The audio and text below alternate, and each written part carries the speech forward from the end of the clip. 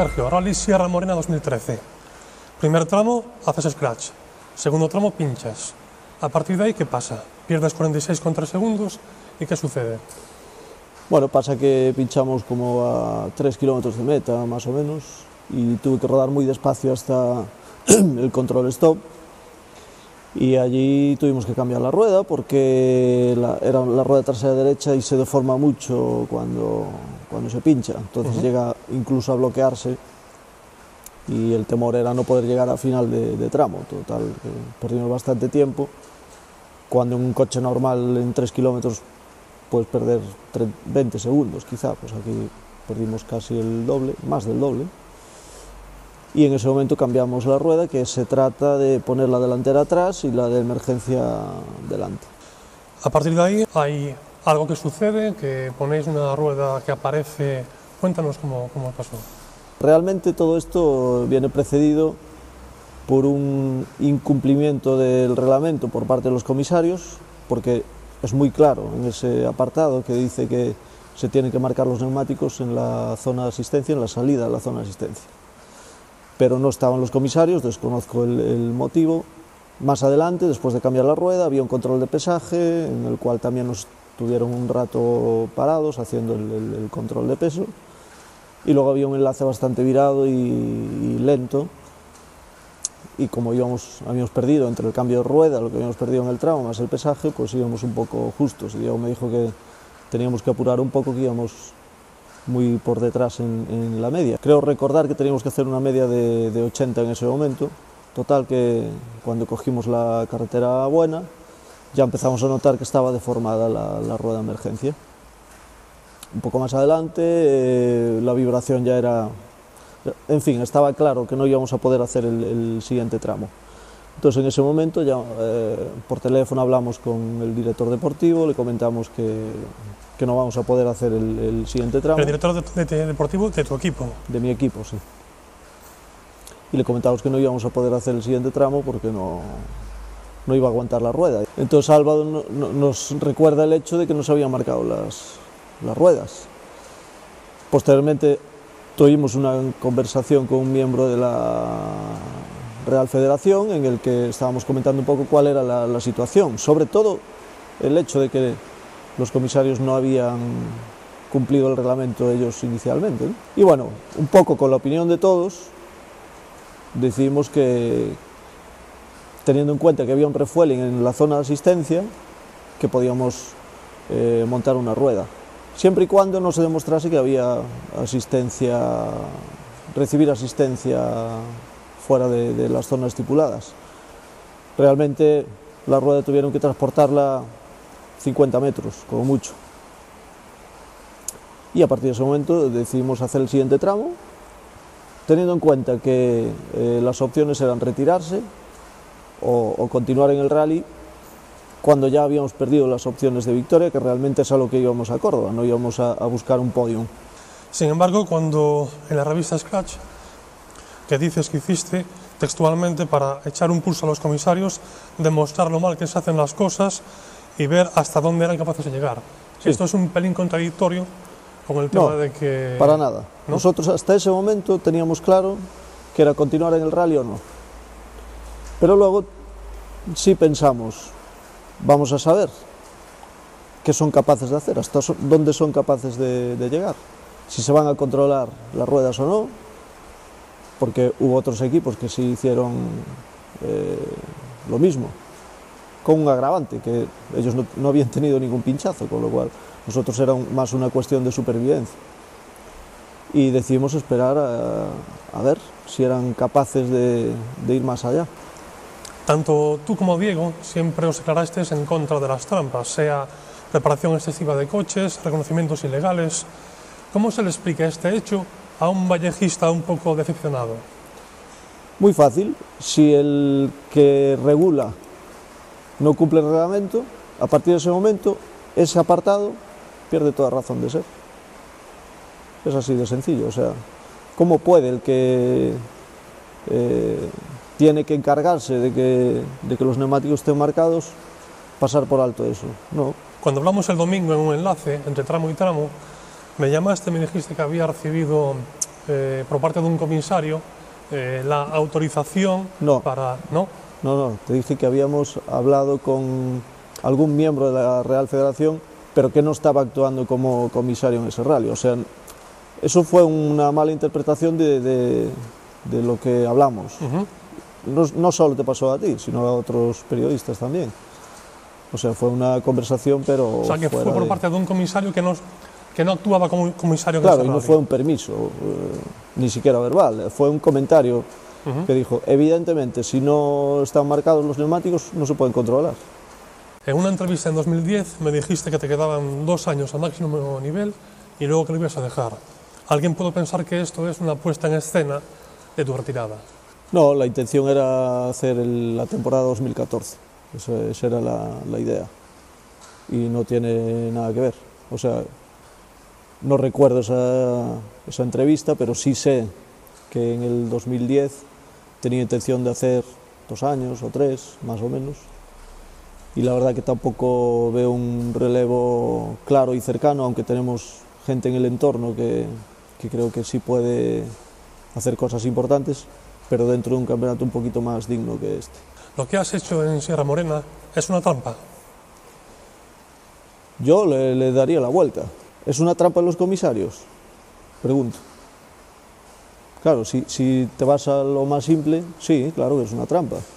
Y que ellos no marquen los neumáticos y luego te sancionen, ¿qué se puede considerar? En tu caso era muy evidente que habías cambiado la, la rueda.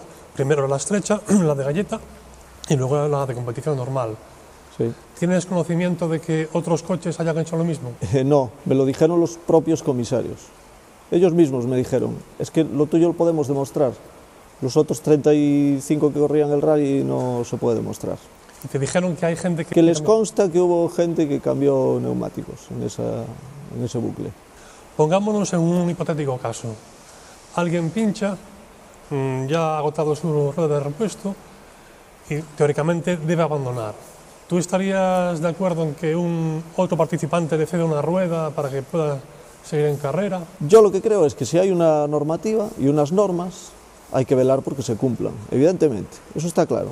Pero de la primera a la última, no vale que no se controlen los reconocimientos, que ninguna prueba sea válida y luego otras cosas que se reglamentan de una forma chapucera, que se sancione de manera arbitraria, además, desde una amonestación hasta la exclusión, y que lo decida un comisario deportivo o dos.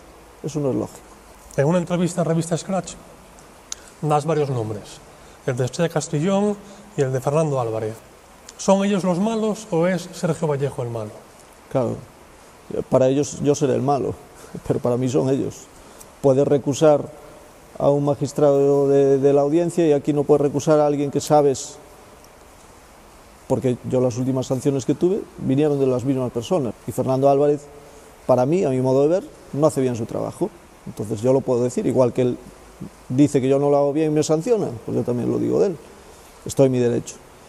Y Estrella Castrillón, eh, le queda muy grande el, puesto ese, donde además es tan importante y donde tiene tanta gama de, de nivel de sanción. Y Carlos Tamargo yo creo que, no está preparado o, bien a veces se deja influir por presiones externas. ¿no? En tu coche era muy evidente que habías cambiado la rueda.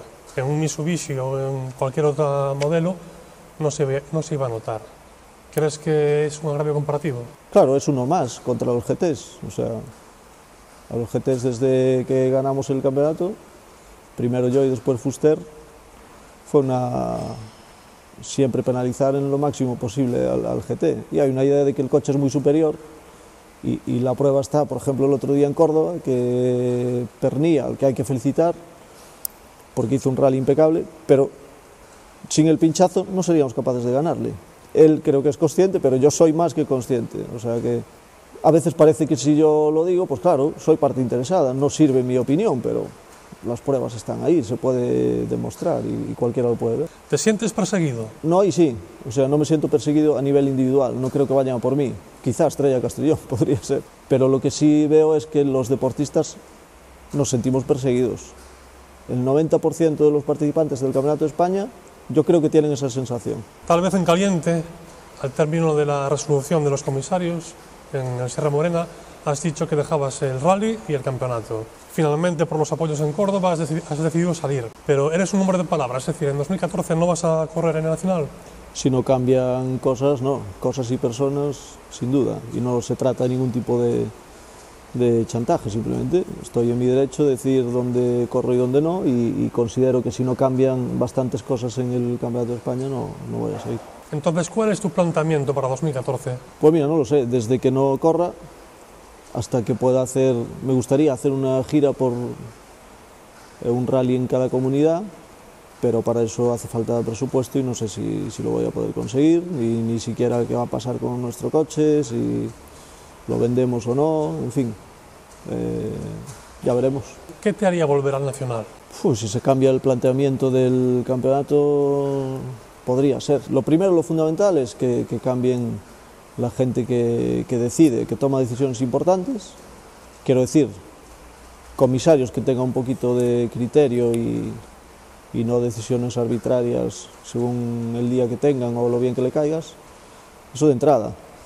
Pero además hay otra serie de cosas muy, muy importantes, que es que la repercusión del campeonato es baja, eh, no hay premios y al menos para los jóvenes debería haber algún tipo de, compensación. Yo creo que, que, menos que hacer un, un, campeonato junior con premios importantes para que chavales de menos, no sé, igual que el mundial, los, los de Academy, que son máximo 27 años. Aquí en España son 23, no sé por qué pues eh, hasta 27 años pues que se les hiciera un campeonato decente y que ganando unos premios que, con los cuales se pudieran pagar las carreras. Eso es lo mínimo, que se haga un poquito de promoción, porque un poco se nos critica a los que llevamos muchos años aquí y, y no se critica a quien tiene que fomentar la participación de los jóvenes. Y eso es lo que tienen que hacer, los jóvenes superar a los que están.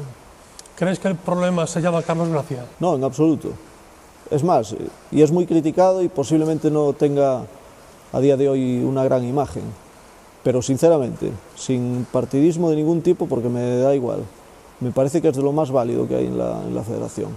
Y tiene alguna gente en su equipo que es muy válida. Pero es que luego tiene alguno que no, que no da el nivel, no puede estar. Y yo creo que eso le está perjudicando mucho más de lo que él cree. ¿Eres consciente que pese a que todo lo que digas, hay antivallejistas que digas lo que digas, van a estar en contra? Hay vallejistas que hagas lo que hagas, van a estar de tu lado. Y hay gente que va a dudar siempre. ¿Cómo crees que puedes convencer a ese...? Es que no es mi intención. Yo entiendo que habrá gente que me apoye y gente que me odie. Pues bueno, pues yo simplemente de verdad trato de divertirme con mi deporte y me encanta que la gente disfrute con este deporte y viéndome correr. Sí, me gusta, pero tampoco soy ningún egocéntrico que necesite que todo el mundo esté adulándome, para nada, todo lo contrario. Para mí la máxima es humildad, trabajo y tú lo sabes. Tú llegaste hoy aquí, yo que estaba haciendo, trabajando en mi coche, o sea que a mí nadie me regala nada y disfruto, trato de disfrutar de, de las carreras.